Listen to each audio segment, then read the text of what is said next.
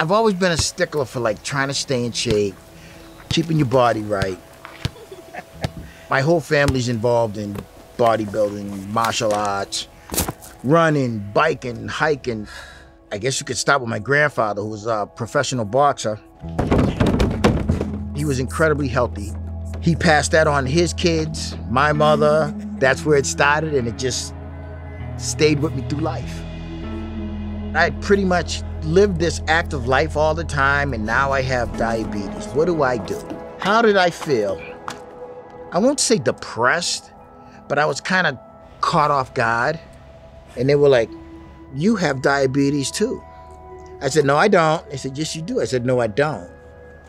And and in my mind it was a denial thing, but I was like, How do I get diabetes? I'm way too healthy. And he said, What do you eat?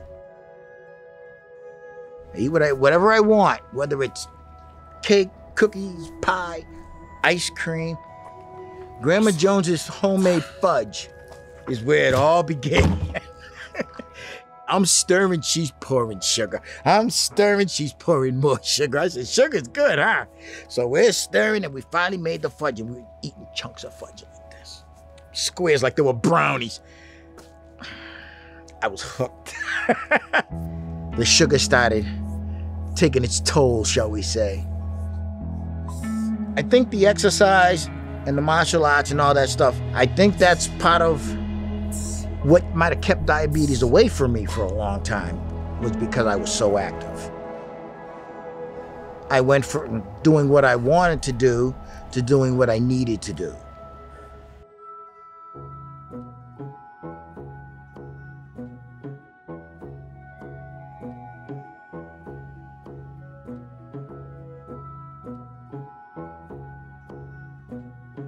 For a while, your goal weight was 200 pounds. That was where you wanted to be.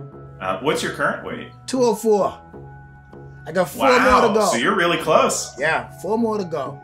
I had to relearn pretty much how to eat again. No, Yeah. no Chinese How, food. how's life without chocolate cake? Actually, not too bad. Dr. Mirsky has been in my corner from day one. He said, You need to talk to Anna. Anna is the coach, more or less. Oh boy, there she is. Hi, Clyde. Dropping that A1C significantly was such a great start. Yeah, that was a biggie. I was really surprised at that when I saw it. Since I've improved my diet, now my sugar levels are anywhere between 98 and 123, which is a significant drop all the way around. My eating has changed, but my mindset hasn't changed. I still look at everything the same. I've just eliminated the problem.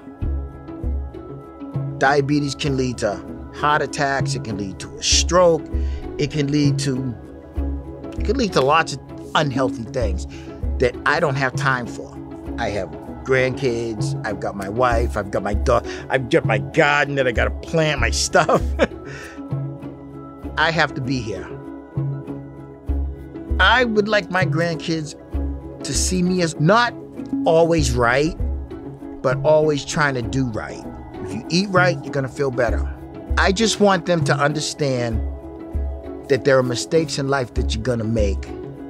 Don't let them keep you down. Always do what you have to do.